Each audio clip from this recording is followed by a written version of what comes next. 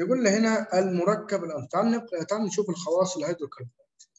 الخواص الفيزيائية جميع مركبات الهيدروكربونات الكان الكين الكاين بنزين غير قطبية أي أنها لا تذوب في الماء وتذوب في المذيبات التي تشبهها زي الميثان زي زي البنزين زي الكلوروف زي مركبات الرابع كلوريد الكربون. درجة الغليان والانصهار منخفضة جدا لأن ما فيش روابط بين أجزائته قوة زي الروابط الهيدروجينية. الألكانات غير نشطة تماما بسبب الرابطة الأحادية صعبة الكسر. وما فيش شحنات ولا قطبية.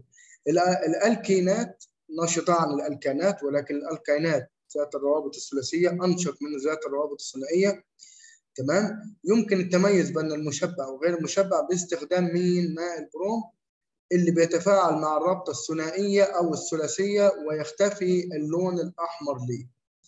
إذا المركب الأنشط هل هو الكان ولا ألكين ولا ألكاين؟ تعال نشوف. هكسان ده أن لا. أن لا. عندي ين وعندي آين. يبقى الإجابة آين لأن روابط ثلاثية أنشط من الروابط الثنائية وهي أنشط من الروابط الأحادية.